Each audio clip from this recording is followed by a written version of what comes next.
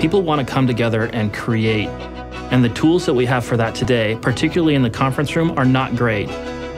The task for us was to figure out how do we transform the way that people work together. The roots of Surface Hub go back to pushing the collaborative model. We knew that we had a huge opportunity to revolutionize the way that people work together.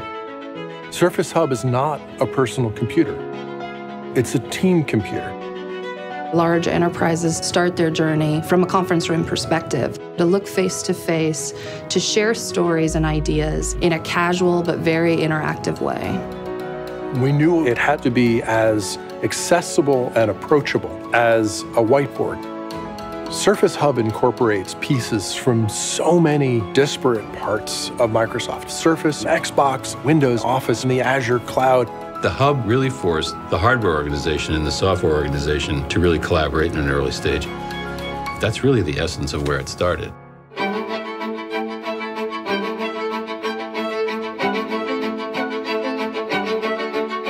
Nothing like this had ever been done before. We needed to not only invent the product, we needed to invent the ways to manufacture it. We needed to reinvent the way we optically bond the touch sensor to the display. So when that pen touches the glass, it feels like you're touching the image.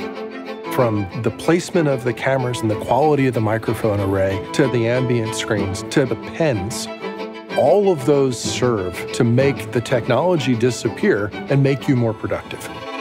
One brand that we all love did a couple of trials and just put in an order for thousands of units. That means they saw a shift in how those people work.